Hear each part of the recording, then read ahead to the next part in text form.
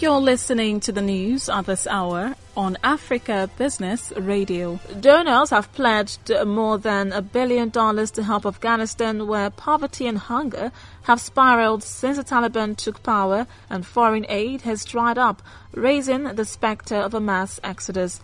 UN Secretary General Antonio Guterres says it was impossible to say how much of the money had been promised in response to an emergency UN appeal for $306 million to meet the most pressing needs of the country.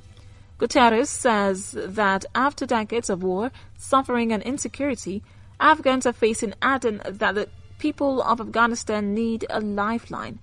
Guterres says the financial system at the moment is extremely limited, which means that a number of basic economic functions cannot be delivered.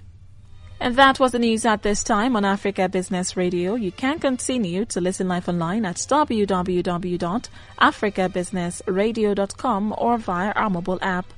I am Rachel Chijindu. Good afternoon.